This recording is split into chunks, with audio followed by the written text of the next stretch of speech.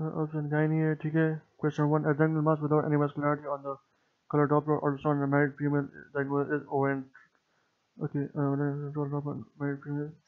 Ectopic pregnancy is more likely ठीक है? The adnexal mass uh, without any vascularity on color doppler or on a married female. So ectopic pregnancy is diagnosed is most likely.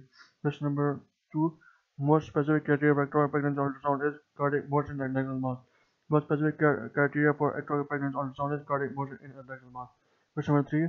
Young female came with an amenorrhea and presented with the right lower quadrant pain. Her PCG was 2, 2 200, minimal free fluid with echoes in the IF. Ultrasound showed no signs of intrauterine pregnancy, was an ectopic pregnancy. Again, no sign of intrauterine pregnancy, and she HCG is raised, and then uh, young female. Question number four. Female with PTHG 2200 and GRP negative, like that was ectopic pregnancy. PTHG of 2200, and they will say in the scenario that she is married, so diagnosed ectopic pregnancy. Question 5. Married female came and lower abdominal pain and right pelvic region. Likely the pain is of origin from ovary. Married female came and lower abdominal pain right pelvic region. Likely the pain is of origin from ovary. Question 6. A 23-year-old female married presented with pain in right iliac fossa ultrasound of complex mass apparent uterus to the right, right ovary not separate, very. No vascularity in the mass ectopic pregnancy. Again, same scenario. Married female, right, right ovary not superior with right, ectopic pregnancy.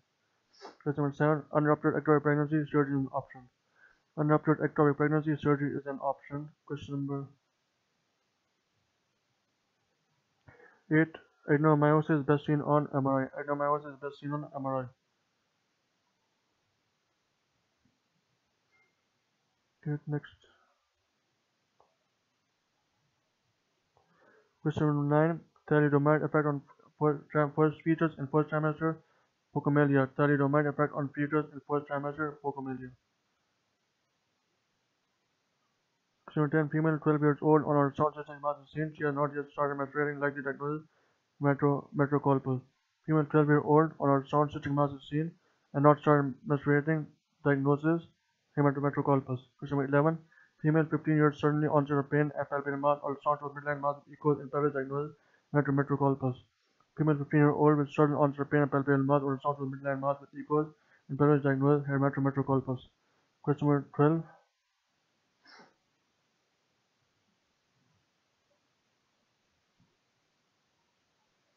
On 34 week scan, which can be seen, fluid can be seen in fetal stomach.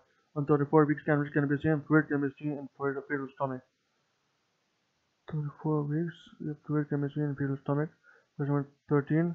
Obstetric ultrasound shows fetal ascites, pleural fluid, and pericardial fluid. Skin thickness more than 5 mm, and placenta measure more than 4 cm. Diagnosis hydrops fetalis.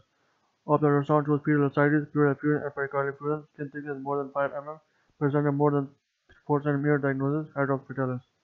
Question 14. Regarding pelvis, junctional zone appears hyperintense on T2WI. Regarding pelvis, junctional zone appears hyperintense on T2WI. Question number 15. 15. Investigating of choice for endometriosis is MRI. Investigating of choice for endometriosis is MRI. For endometriosis, investigating of choice MRI. Question number 16.